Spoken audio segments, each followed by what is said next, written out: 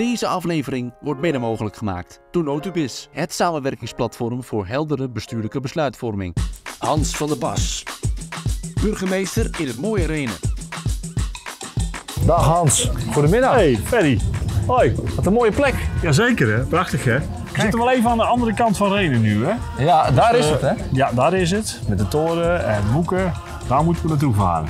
We gaan met de, met de veerpomp. Ja.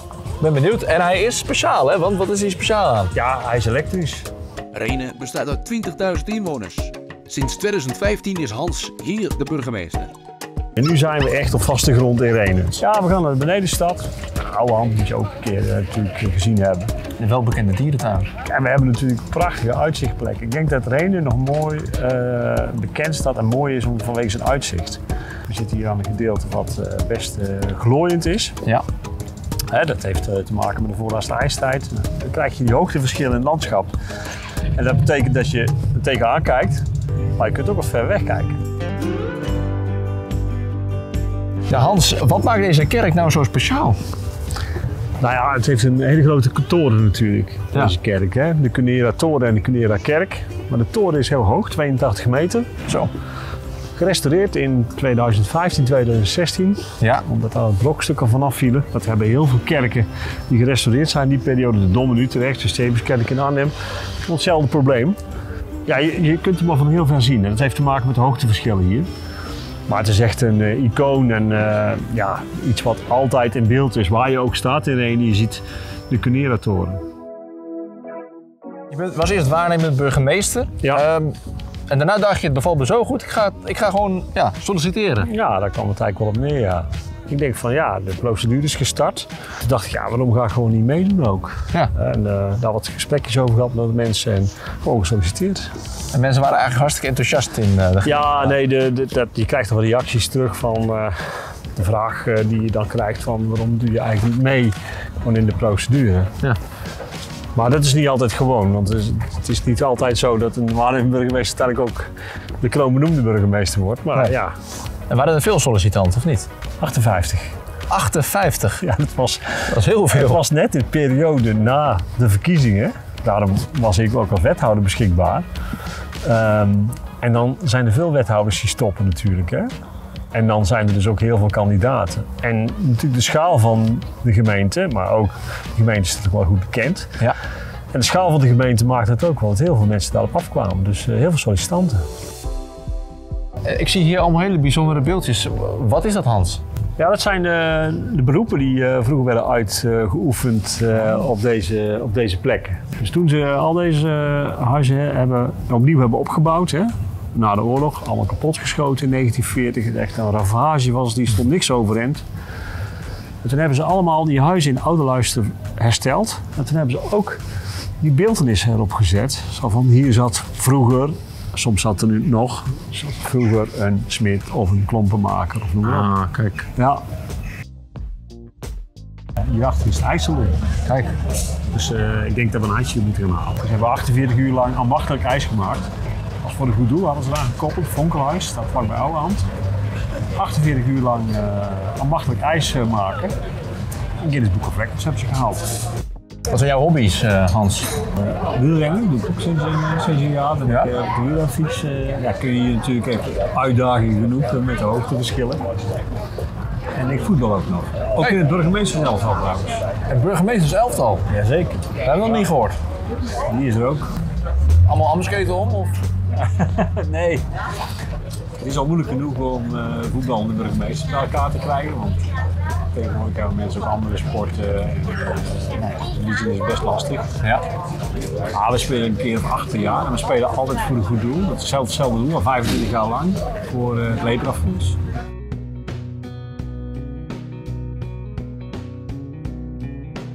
Een hele bijzondere plek, Hans. Ja, het is een hele bijzondere plek.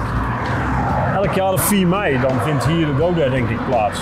En, eh, er komen echt een paar duizend mensen op af. Ehm, wordt georganiseerd door Defensie, door de Krijgsmacht. Want het is de nationale militaire dodenherdenking. Ah, dit is het ereveld eh, dus uh, verder. Kijk. Ja. En hier liggen militairen die zijn omgekomen tijdens de oorlog. ja, tijdens de Tweede Wereldoorlog. Zo'n eh 800 graven hier. Komen elk jaar bij. Dat heeft te maken met herbegravingen. Dan worden mensen van elders hier herbegraven. Die komen dan bij hun dienstmakkers te liggen van toen. Ja, hier zijn ook rondleidingen. De Cunera-gilde geeft die rondleidingen. En dan krijg je het verhaal te horen van de slag om de Grebbeberg, die hier heeft plaatsgevonden. En ook over de begraafplaats. Uh, wat voor soldaten liggen nou hier? Waar komen die allemaal vandaan? En waarom zijn het uh, 800 uh, graven? En terwijl er maar 400 mensen zijn ongeveer zijn omgekomen hier uh, tijdens de slag de Grebbeberg. Dat verhaal wordt hier verteld door de Cunera-gilde, omdat hier ook die slag heeft plaatsgevonden. En een aantal dingen zijn nagebouwd, dus kasematten, bunkers, loopgraven, de stoplijn. Dat is allemaal hier nagebouwd en dat kun je rondleiding over krijgen. We zijn hier op het Eikkuitpunt, bovenop de Grebbeberg. Maar we zijn er en ja, we zien daar de koningspaarden, die staan daar in het water. Ah, dit is een heel bijzonder gebied. Je kunt hier op allerlei plekken in onze gemeente, ook in de dorpen Elsen-Achterberg, hele mooie natuur zien. Het gebied kent vele dieren. Zo verblijven er vogels, vossen, bevers, herten, koningspaarden en Gilloway-runderen.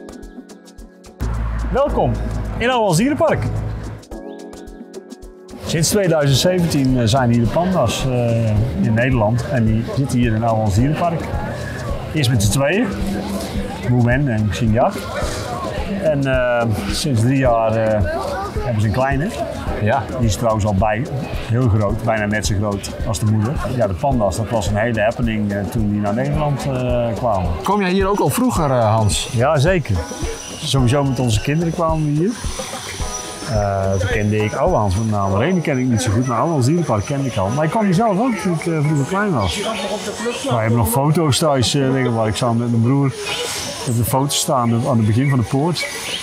Dus uh, zo lang bestaat uh, deze, deze dierentuin al. Bestaat er vorig jaar bestond hij 90 jaar. Uh, volgend jaar komen die koala's. Is de eerste dierentuin in Nederland die koala's heeft. Dus de panda's die hebben we al een paar jaar, sinds 2017. En dan komen volgend jaar de koala's. Kijk. Hans, bedankt dat we bij jou uh, op dit mooie, bijzondere bezoek mochten komen. Ja, graag gedaan. Ik vond het enorm leuk om uh, ja, ook hier de dierentuin een bezoekje te mogen brengen met jou. Ja, graag gedaan. Ik vond het ook hartstikke leuk om wat te vertellen over mijn eigen stad. Ja. En over de dorpen en over wat hier te zien is. En deze is voor jou.